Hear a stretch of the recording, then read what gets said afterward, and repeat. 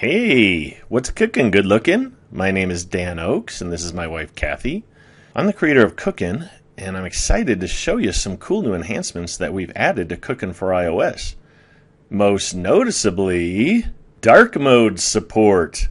Oh, yeah. Apple released iOS 13 recently, and before it even came out, Cook'n programmers were busy making Cook'n better by taking advantage of all the new features of this new version of the operating system. Dark mode is a little easier on the eyes, especially when using your device at nighttime. And it's pretty cool too. It's really quite different and fun.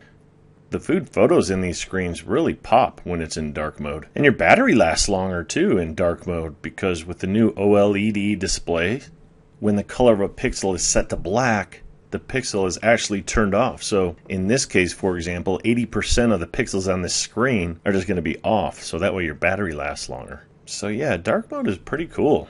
Most apps don't actually even have dark mode support yet, and they don't take advantage of the new features of the new operating system because it's so new. But Apple gave us a version of iOS 13 in advance, and the Cook'n programmers got to work on it right away. In fact, we released a version of Cook'n with dark mode support before iOS 13 was even released. Yes, way to go, DVO! To enable dark mode support, just go to Settings, and then scroll down and tap here where it says display and brightness.